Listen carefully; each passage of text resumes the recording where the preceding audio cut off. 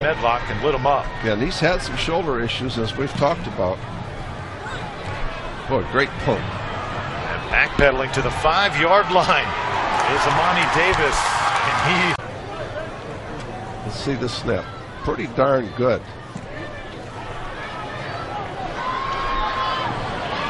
taking it to 25. Oh, look look at the speed. Imani Davis all the way to midfield. Akron has got some burners. When we come back. That Akron front four tonight. Very impressed. Good kick.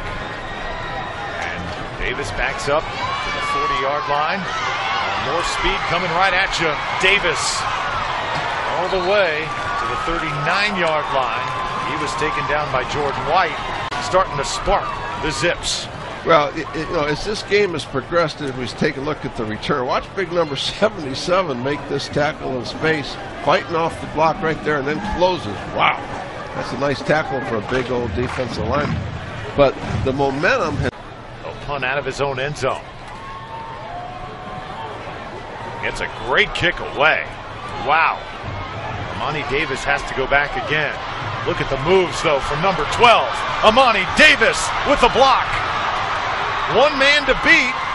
Now he's taken from behind. An electric return. Chuck Gray stripped him up. by number 53, Jatavius Brown, right There. Right there. That's the block that sprung him, and an excellent block downfield. Also by the uh, wide receiver.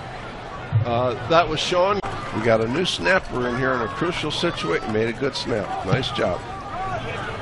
Griffin gets it away. Taking it to 42. Not much for Imani Davis. Had a tremendous Monty Davis does not make it back to the 20. That was a nice tackle by Channing Fugan. And it's since he's been here. Let's take a look at the Academy Sports and Outdoors Right Stuff player of the game. It is Ray